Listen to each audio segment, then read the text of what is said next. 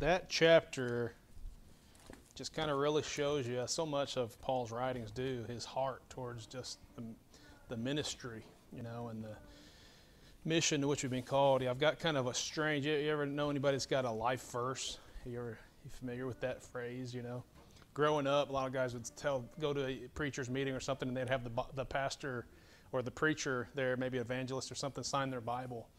And you know, some guys think it's kind of weird, and they'll be like, "Oh, I don't want to sign your Bible. That's weird." And others just sign it. A lot of times they'll sign it and they'll put a Bible verse underneath it, and that's kind of like their life verse. I don't know if you're familiar with that. So growing up, I saw that a lot, and I never really had a life verse uh, that I would have called a life verse or whatever. But look over a couple uh, chapters over to 1 Corinthians 16, 15. In the last maybe five, six years, um, this is the one. If I was going to make something my life verse, it would be this. Chapter 16, verse 15. Seems like a weird verse to claim as your life verse, but says, "I beseech you, brethren." It's all every, my, you know, everything is in these parentheses now. You know the house of Stephanus, that is the first fruits of Achaia, and that they have addicted themselves to the ministry of the saints. And I think about Paul, and that's one thing for sure. He was addicted. He addicted himself. That's night and day. Like this is what I want to do, man. This I just want to serve the Lord. I want to be about the work, and uh, and it's easy to get derailed. It's easy to get sidetracked and start thinking about the things of the world and thinking about different things. But you got to addict yourself. You know, I'm going to go back to this illustration. You know, I can get addicted to exercise and to running. That's my personality type. I can get addicted to just about anything coffee, you name it. I'm glad I never had a desire to taste alcohol, amen.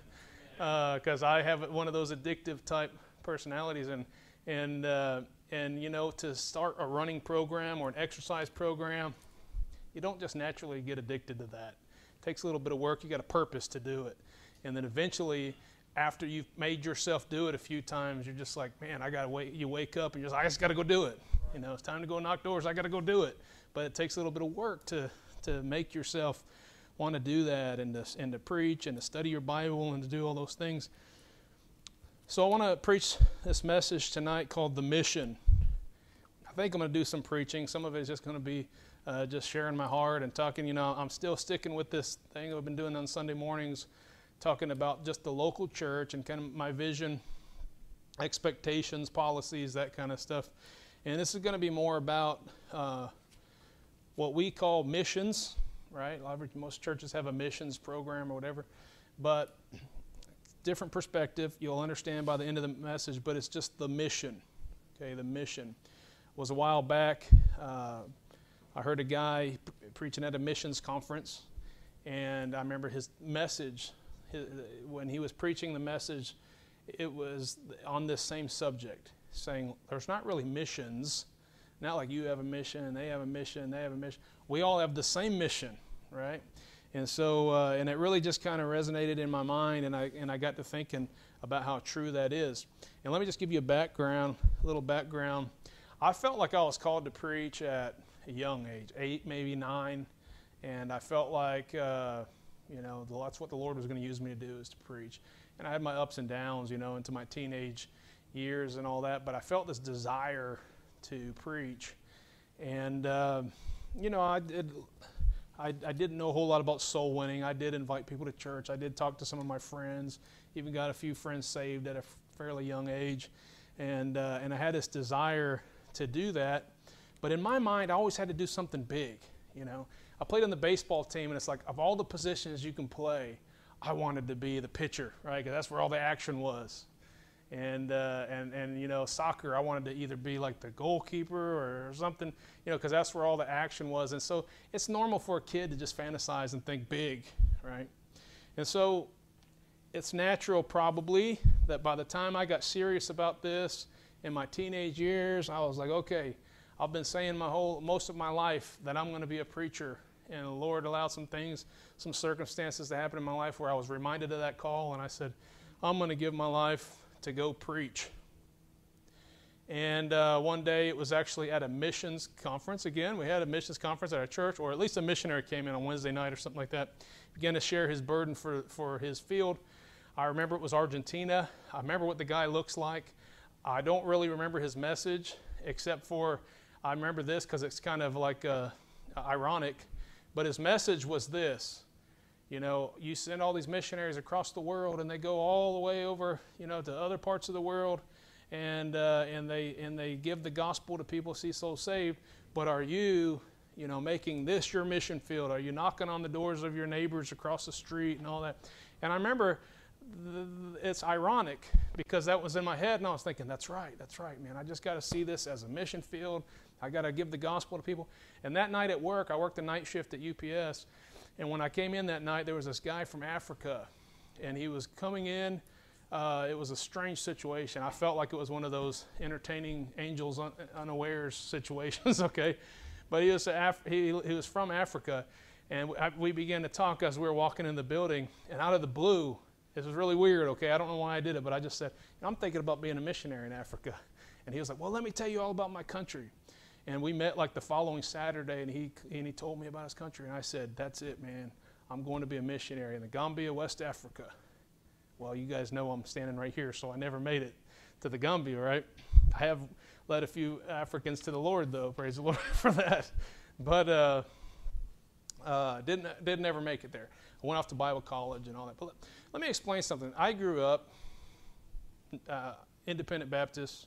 You know, from the time I was saved, independent fundamental Baptist. All the churches we were in were that way.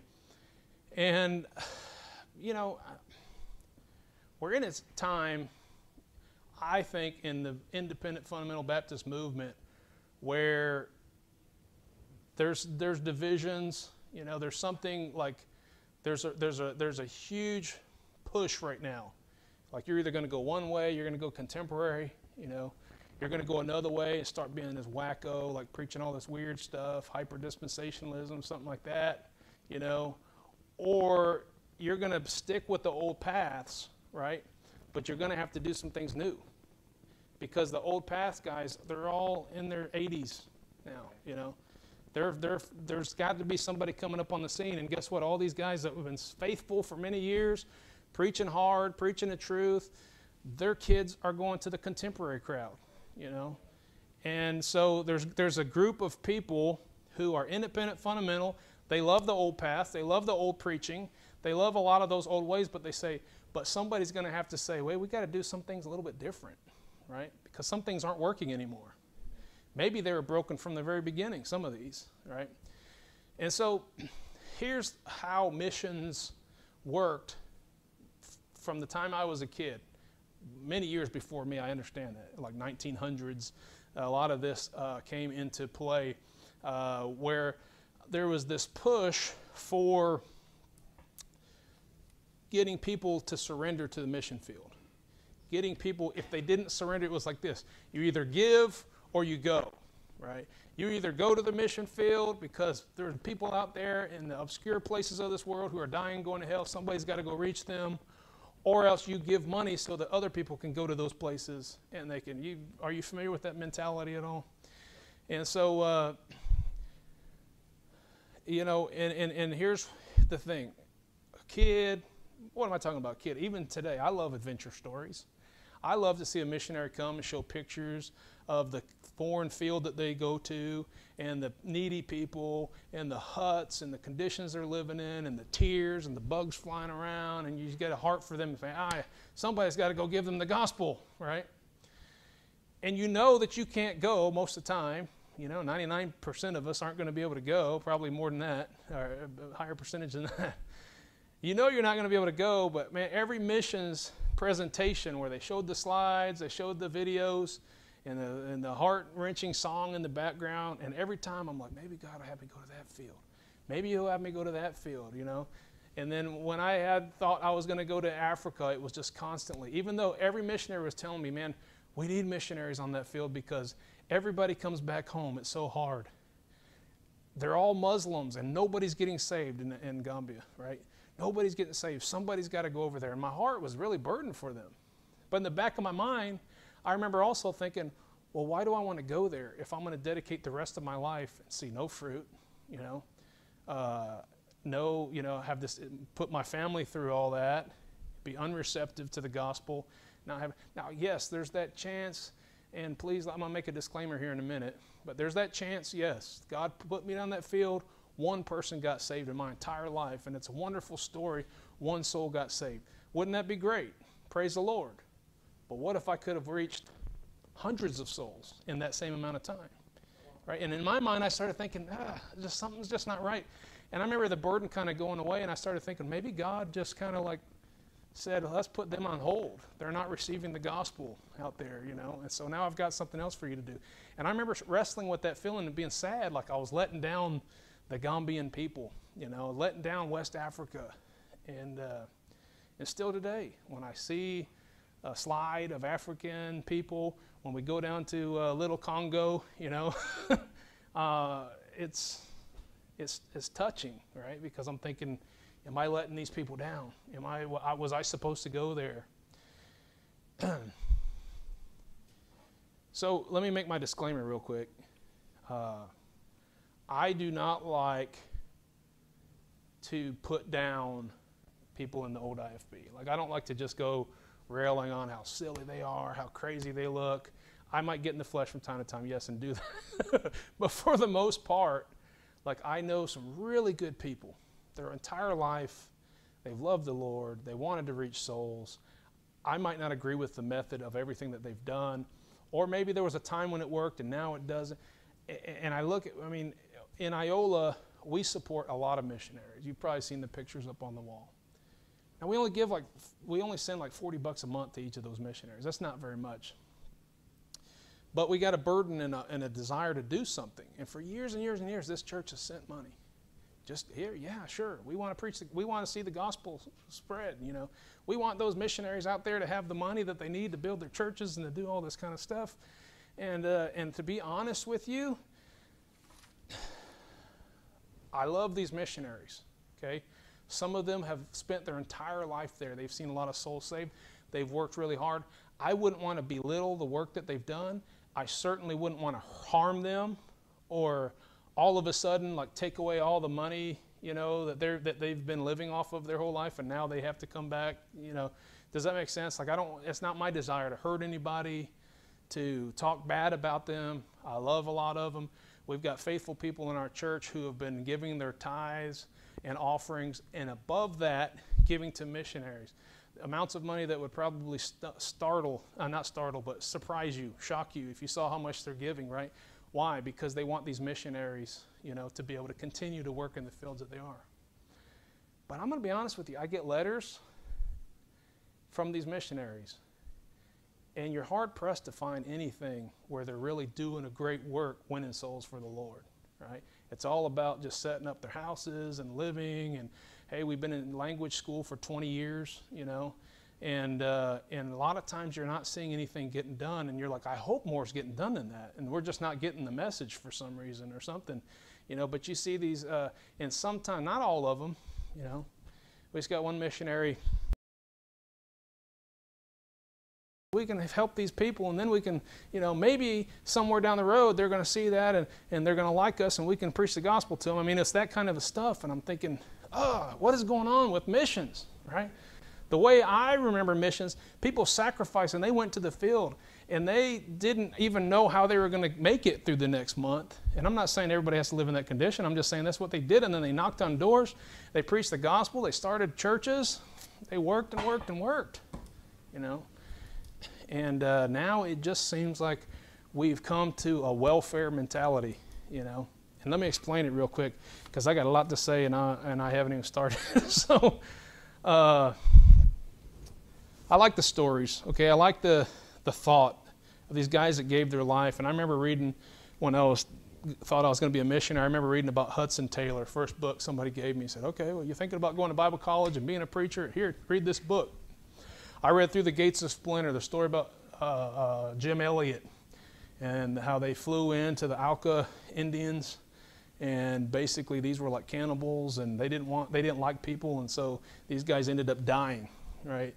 years later, somebody came back and reached them, and the ministry continues on. And Jim Elliot said, He is no fool who gives what he cannot keep to gain that which he cannot lose. I love that, man. It fires you up. Great story. Someone gave their lives, you know, for the cause of Christ. And, and uh, who knows, by what their sacrifice didn't inspire other people, and, and people got saved as a result of that. I love that. I love that. But here's what happened over the years with missions. Okay, I'm not going to say when it happened or where it's happened or whose fault it is or anything like that. But over the years, what happened with missions is there became this big push to just give, give, give, give till it hurts. And when it hurts, give some more. Okay? And so there was this push growing up that was called faith promise giving. Everybody familiar with faith promise? Okay, so I don't have to spend too much time on that. But in short, the idea was you come up with a figure, you pray about it, you come up with a figure, and it should be a figure that's going to hurt you. Like you don't know how you're going to be able to give that much next month or next week or whatever, week to week basis.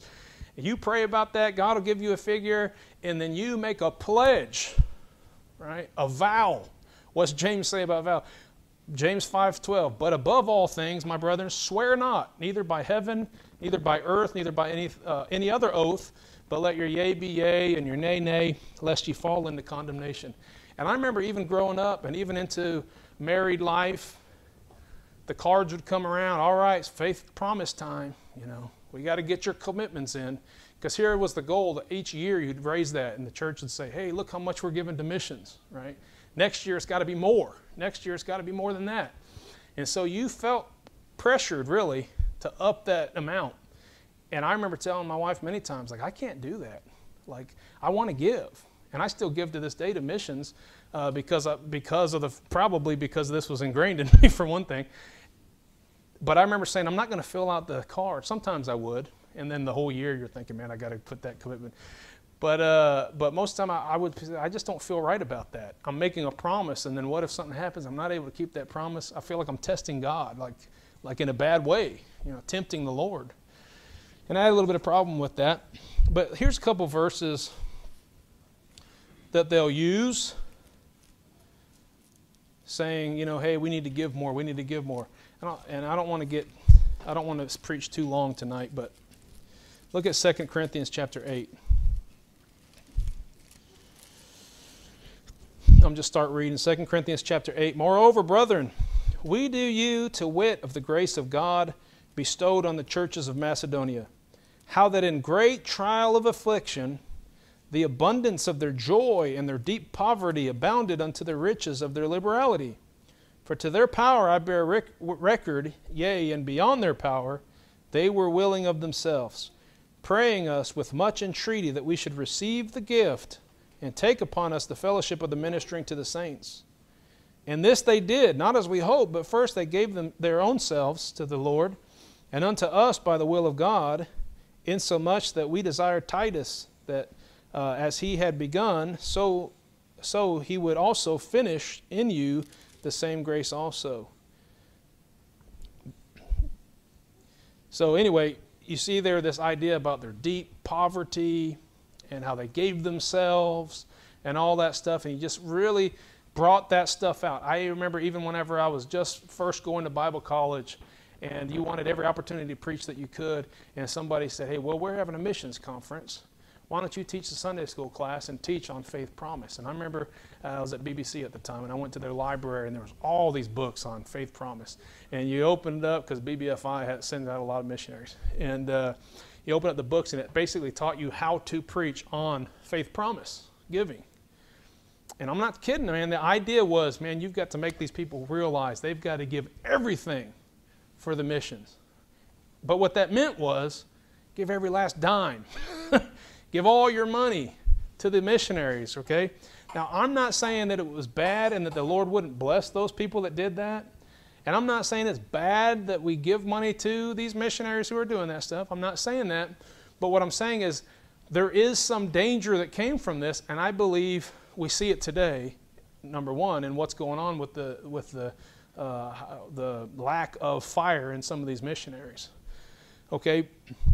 But not only that, you know, it sounds dangerously close to the charismatic word of, uh, word of faith uh, ministry. You know what that is? Word of faith. Basically, you think of all these guys, uh, help me out here, Joel Osteen. Uh, what's the guy's name? He looks like a demon. I don't want to make fun of him because he's a big heretic, man. what I mean, like he looks like a demon. What's his name? Somebody help me, huh? Kenneth Copeland. Kenneth Copeland, man, that guy is hard to look at. These guys are part of this this word of faith ministry. You think of faith healing and faith this and that, and I'm not kidding. I get so mad. I watch them, and they are talking about this seed. You know, the more you want to grow, the more seed you plant. And so they say, if you just send a seed offering, right? Well, if your kid has cancer, boy, you really better send a big seed, right? And so these people will give every last dime, hoping that God's going to send them more blessings because they're giving more money. And I see the faith promise, and I'm like, that sounds dangerously close to the word of faith type of mentality. Yeah. And I don't want to test God, tempt God. And I don't want to try to, I certainly as a pastor don't want to try to persuade people that don't have money to give to the point that they're hurting, hoping that God's going to bless them in a, in a special way because they gave their last dime, right? And I'm going to say more about that in a minute. But I think that's very dangerous uh, mentality to have. And you see it in the charismatic church uh, which really goes real close with some of these early days of sacrificing and giving everything you can to go to the mission field and stuff. All right, number two, this cause, this push for faith promise and missions giving, uh, it caused people to think that this is the only method, the only way that we can we can reach people around the world. Okay, and so here's how the program goes. This is the stereotypical IFB way of uh, doing evangelism worldwide, okay? Missions. Number one, they got to go to school. That's what I thought. That's what I was told. Got to go to school at least four years. If you're super smart and you and somebody pays your way, I guess you don't have to work or something. Maybe you can get it done in three and a half. But probably going to develop, probably going to give four. I mean, four years. And there's a lot of good stuff that can happen during that four years. A lot of training, a lot of dedication, learning, learning how to uh, sacrifice, right? Because you're you're working full time job and going to school, and you're having to pay the bills and raise a family. There's a lot of good stuff that comes from that. But they go four years, they're working hard, they're doing all that stuff. They're finally done with school. Now, what's the next step? They got to raise support because it costs a lot of money to go to another country and to live and, and to do all those kinds of things. So they got to raise support. So now at least two years. I think if you got done raising your support in two years, that's pretty much like uh, better than the normal for sure. It's probably closer to four years or something like that. I don't know. But let's say two years, your full time job is to raise support. So, how do you do that? Well, maybe you have a church that sends you, right? And they, and they say, uh, you know, here, I'll write out some recommendations, send letters to all these churches, help you get some, some meetings scheduled and we'll back you up. We'll help you with some money to get started. And then you're pretty much going to live off of love offerings. Every time you go to one of those churches, you know, you're hoping that they're going to take care of you. Now, as a pastor and as a church member, love for the Lord, love, love for the ministry, love for these missionaries and the work that they're doing, when they come through, man, you really want to give. On top of your faith promise missions, you're like, I, I, I can't let these guys they're on full time deputation, man. That's hard work. And you're like, I got to give, I got to give, I got to give. Now, let me tell you, some of these times that these guys are on deputation, it's, it's hard work. Homeschooling in the car, traveling all across the world. Sometimes maybe they're not, it's not as glamorous as they expected. Other times, I guarantee you this, some people love it. Some people love it. I'm a world traveler. I get to go to all these high, energetic, preaching uh, seminars and be a part of them.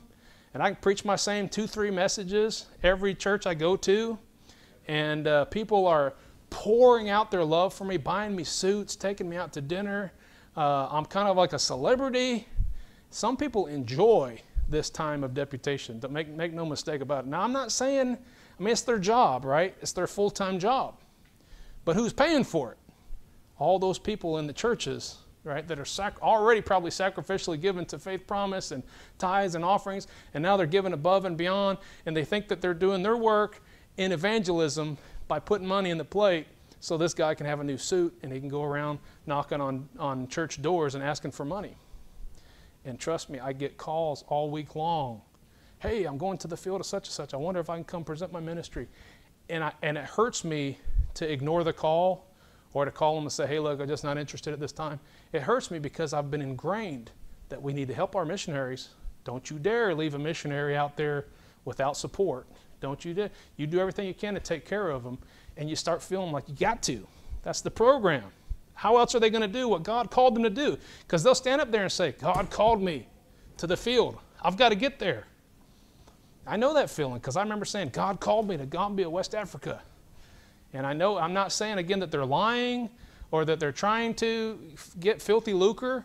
You know, I'm sure there's some of them like that, but I think for the most part, they just feel like this is the way I got to do it. Sometimes it works out in their benefit, sometimes they don't like it. And all the people in the pews, they've been taught you got to sacrificially give. You got to, hey, if you buy yourself, you know, a drink from the gas station, shame on you. That money could have went to missions. And I mean, there's this kind of guilting that goes onto you. I'm not kidding. And so people feel like they got to be part of the program. So they finish school, they raise support for two years or four years or whatever, going from church to church, a full time deputation, hoping that they can raise the money that they set. This is how much money I need typically to be comfortable, let's be honest. And they'll say, Well, I got wife and kids, I got to take care of them. So if I go to the, I got to make sure I got plenty of money coming in and we need this and that. So it's usually a pretty comfortable amount that comes in. All right.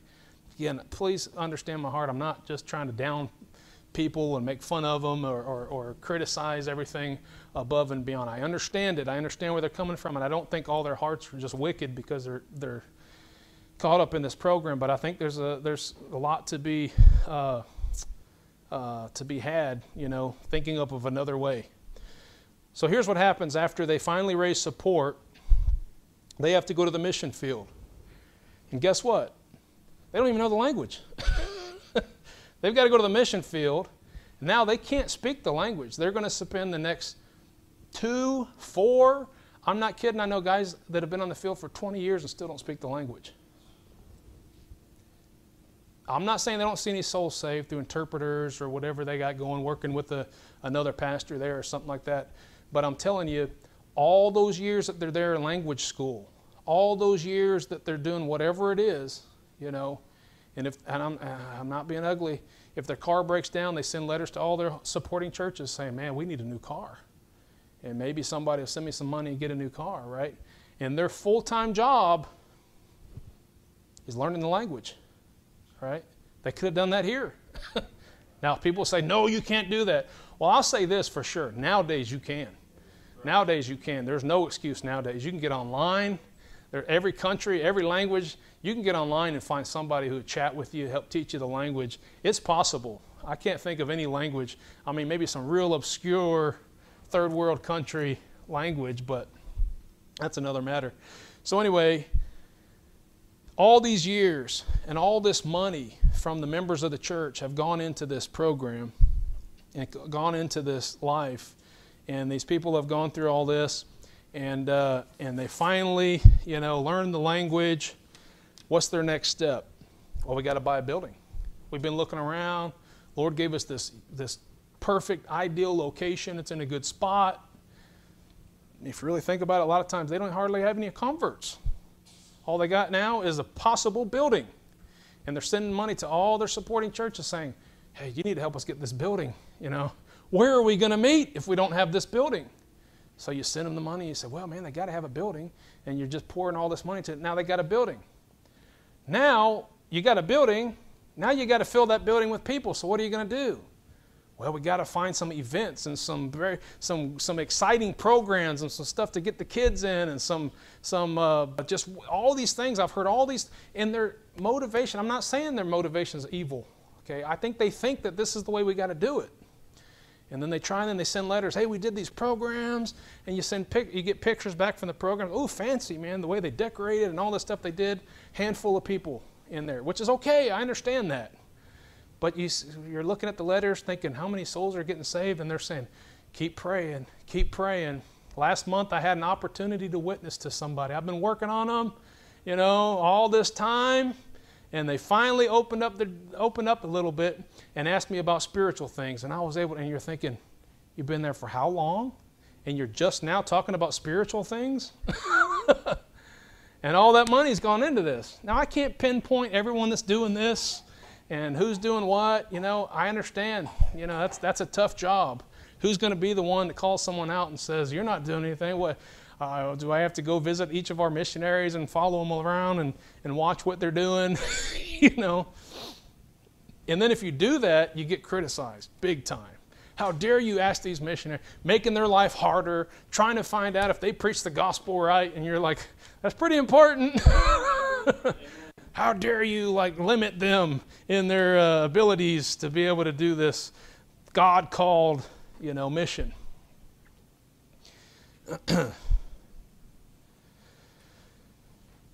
so you can see where I feel like the the system is broken, man. There's got to be another possibility out there, especially 2020. There's got to be another way to do it. All right, so let me give you just a couple things here. Uh, here are a possibility, and everybody I think probably that I'm talking to is on the same page on this. So, so, but here's the thing: number one, you start winning souls wherever you are in your local church. Start winning souls. You know, I know people that went to Bible college, got all the training, went on deputation, probably don't even know how to win a soul to the Lord. You know, I mean, I, that sounds very critical. Like, how do you know that? Look, I know it. I know it.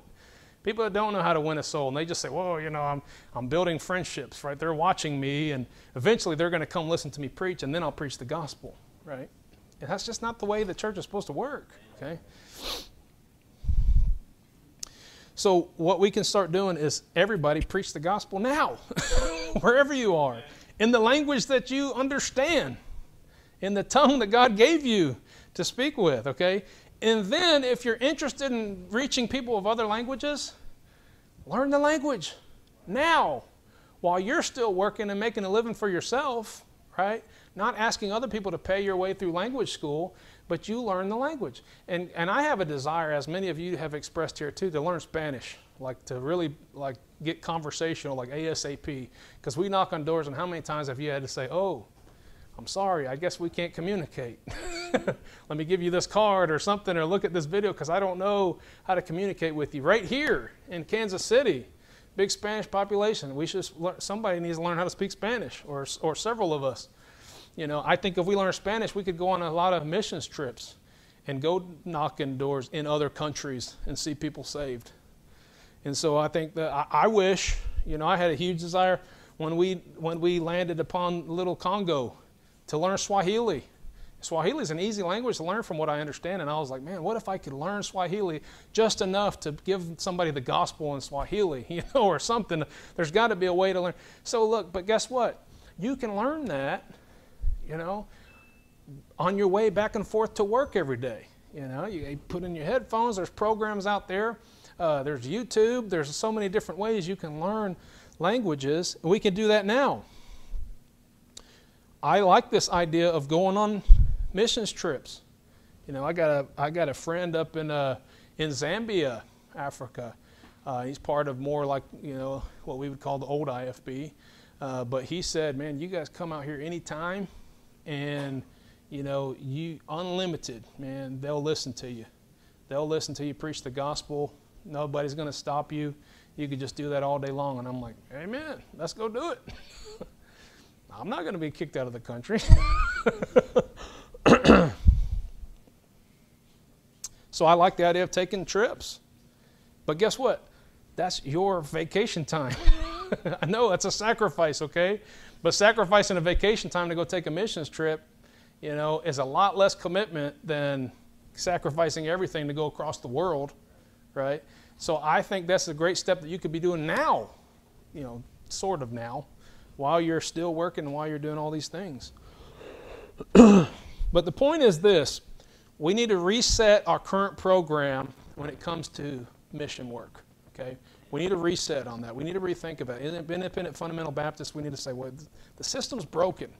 It's kind of become a welfare mentality and in the end of the day, it doesn't seem like a lot of people are even putting in the work that they should be putting in. And I, and I that sounds so critical and so heartless. And I was raised to like, you know, you wash your mouth out with soap if you criticize the missionaries. but that's really I, I, what I see. Okay.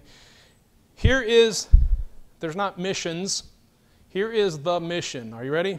Mark 16, 15. And he said unto them, Go ye into all the world and preach the gospel to every creature.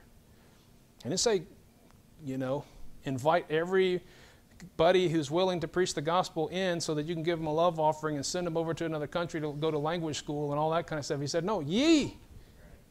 Go ye into all the world and preach the gospel. Matthew 28, 19, 20. Go ye therefore, teach all nations, baptizing them in the name of the Father and of the Son and the Holy Ghost, teaching them to observe all things whatsoever I have commanded you, and lo, I am with you always, even unto the end of the world. This was the, the mission that Christ left the church with and uh, left his church with. And so you see that, you follow through the book of Acts. We got some pretty good examples of how to do this. Okay? Really. If we did it like Paul did it, it really wouldn't look like this missions program that I just spelled out. Okay? and by the way, everything I just said applies not only to foreign missions, but applies to home missions. Okay? People doing the exact same thing that I just described to you in America, in the United States. Let me go raise money for four years, you know, full time deputation as a missionary, living in the United States. Once they raise that money, let me go buy a building. Let me have a program. And they're, you know, it, it, it's sad. Now, some of them work another job on the side or whatever, but I'm telling you, this is messed up, right? They're not even doing the soul winning. They're not even knocking doors. They're not even, you know, it's all about give me the money and then we'll make something happen, right? And nothing usually really happens as far as evangelism goes. The, the, the commission, the mission is go ye, therefore and preach the gospel. Okay, so here's my vision. Honestly, I don't think we're ready to even worry about foreign missions. like anybody here need to, you know, raise some money to go on a trip. you know, that's that's different, but we're not in a situation as a church to even worry about that. Now, I want to make this distinction. I want to be clear about this because some people might be confused on it in Iola, we still have the, the original missions program. You say, wait a minute, it's broken. Shut it down. Well, here's the deal, okay? Here's my conviction about this. I don't want to hurt anybody. I don't want to put anybody out who might be sincere. They've been living off of this program for all this, all this time. Here's the deal. Our missions focus here is on local evangelism, okay? Our desire, and this is the biblical model, you know, read the book of Acts. Our desire here is to turn Kansas City upside down, right? My desire in Iola is to turn Iola upside down.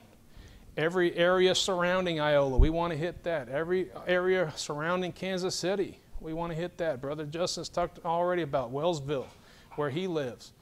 You know, here's an interesting thing for you Barnabas and, and Paul, right? Were commissioned by the church. You know what? We're going to send you to go minister to the Gentiles. Do you know where the first place they went was? It was a little island called Cyprus, right? If you read in the Bible when it first introduces Barnabas, it says he was from Cyprus. First place they went on their missionary journey was to Barnabas' hometown. you think he knew some people around that area? He had some family, some friends, and all that. You know, there was a plan, I think. There was a system. Now, I realize the Macedonian call, right? Paul had a vision, guy in Macedonia saying, hey, come preach us the gospel. And so he said, hey, we've got to head there.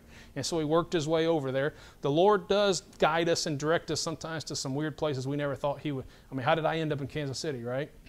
So we allowed for the fact that the Lord will direct us in different places. But you do what makes sense. You say, I'm going to start with my friends and my family. You know, we could go out and get a lot of people saved, and we, we need to keep doing that. But when you get a family member saved, you know what? They're more likely to come to church with you. They're more likely to begin to be discipled after that. You know, you get strangers in their doors, and they're like, well, you know, I'm glad that guy led me to the Lord, but those are a bunch of nuts out there. All they want to do is be hyper soul winners, right? And they like hard preaching and stuff like that. And they like preaching against sin. Man, I still kind of like my sin. yeah, they can be saved and still like sin.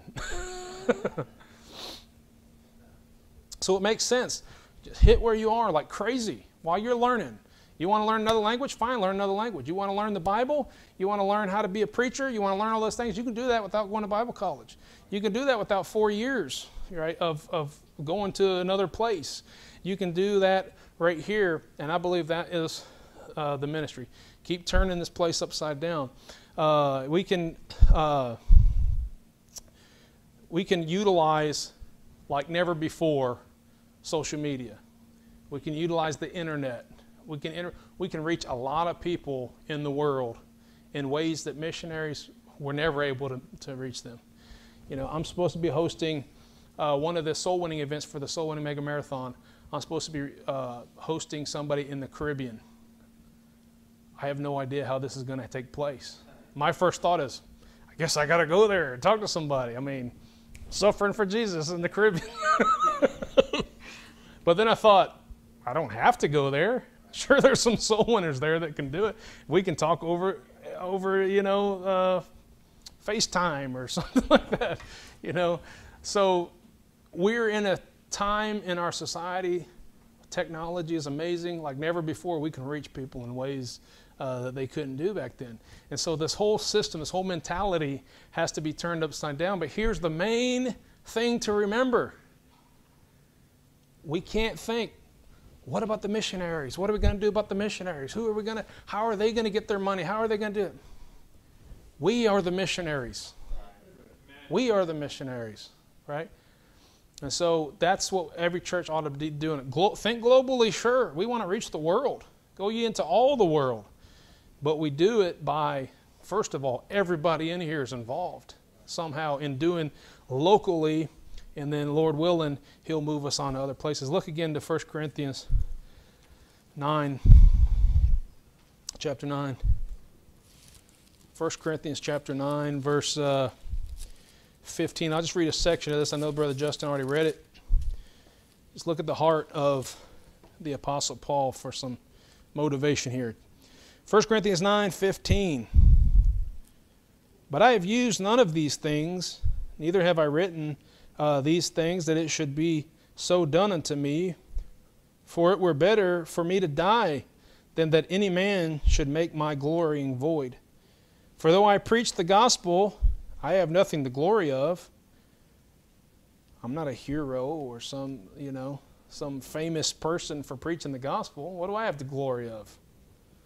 For necessity is laid upon me, yea, woe is unto me if I preach not the gospel. You don't need to pay me to do it. you don't need to pay me to start a church. You don't need to pay me to preach the gospel. For if I do this thing willingly, I have a reward. But if against my will, a dispensation of the gospel is committed unto me. What is my reward then? Verily, that when I preach the gospel, I may make the gospel of Christ without charge. For I abuse not my power in the gospel. For though I be free from all men, yet have I made myself servant unto all, that I might gain the more. And unto the Jews I became as a Jew, that I might gain the Jews. To them that are under the law, as under the law, that I might gain them that are under the law. To them that are without the law, as without the law, being not without the law to God, but under uh, the law to Christ, that I might gain them that were without the law. To the weak I became I as weak, that I might gain the weak. I am made all things to all people, that I might by all means save some. Doesn't say, you know, I went over to the other uttermost parts of the world to spend 20 years and not save anybody. He's doing everything he can to save as many people as he can, right? And this I do for the gospel's sake, that I might be partaker thereof with you. Know ye not that they which run in a race run all, but one receiveth the prize? So run that ye may obtain. And every man that striveth for the mastery is temperate in all things. Now they do it to obtain a corruptible crown, but we an incorruptible. I therefore run not as uncertainty, so fight I not as one that beateth the air, but I keep under my body and bring it into subjection, lest that by any means, when I have preached to others, I myself should be a castaway. You want something to addict yourself to, addict yourself to the ministry. Addict yourself to giving the gospel Addict yourself to seeing souls saved and carrying out the mission because you are the missionaries. Let's pray. Father, thank you.